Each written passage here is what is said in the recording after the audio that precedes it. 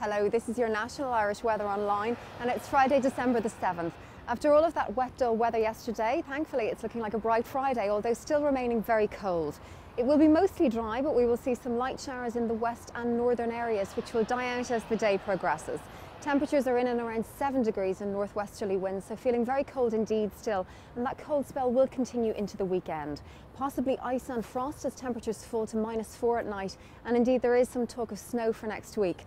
And for the weekend, the good news is that both Saturday and Sunday will be dry and bright, and possibly even some sunny spells too, so a nice bright weekend in store. That's your forecast for today and your weekend ahead. Check back here with us on Monday. A very good day to you.